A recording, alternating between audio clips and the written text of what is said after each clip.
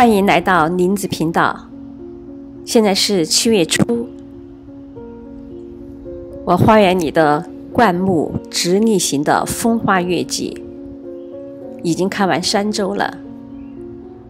它开花的时候非常的壮观，但是花谢以后呢，全是残花。现在我要来给它做。每一年的月季的开完花以后的第二次修剪，修剪的原则，首先是要剪去残花，在什么样的位置下剪去残花呢？现在我来给大家做示范，就是在这一簇花。下面有五片叶子的位置，把整个的一株花剪掉。这样的话，它就会在剪去的部分冒出来的新芽开始长出新的花苞。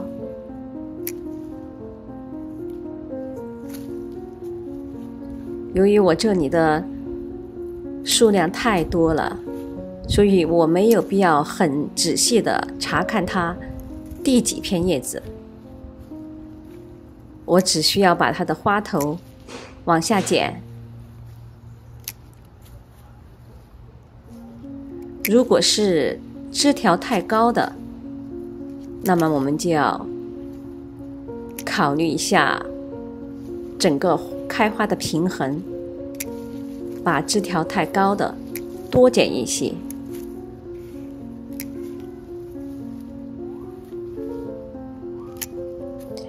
让这个整个这个花的月季的枝条在一个水平线上，这样它第二次开花才很漂亮。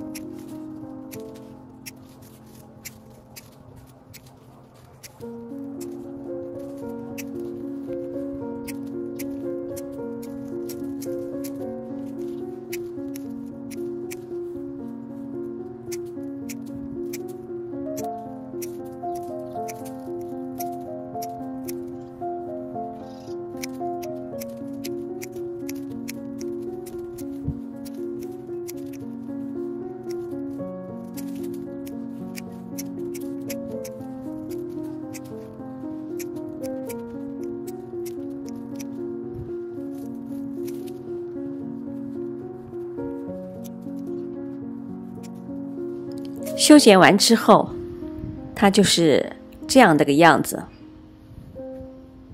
它的枝条基本上都在一个水平线上，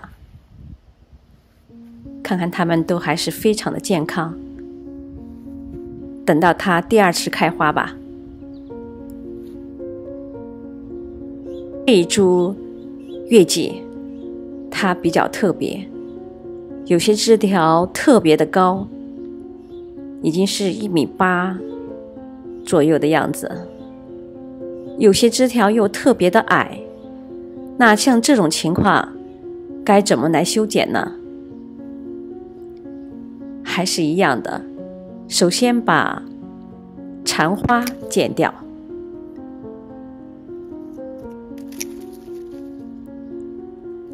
剪残花也是同样的，在花下。找到有五片叶子的位置，把它剪掉。然后我们再往上看，这些很高的枝条，它们也很粗壮，剪了好像太可惜。但是不剪的话，这株玫瑰它不在一个水平线上开花。就显得非常的难看。你看这几株枝条特别的高，除了剪掉它的残花以外，还必须把它的枝条剪矮，这样才能维持这株玫瑰的平衡。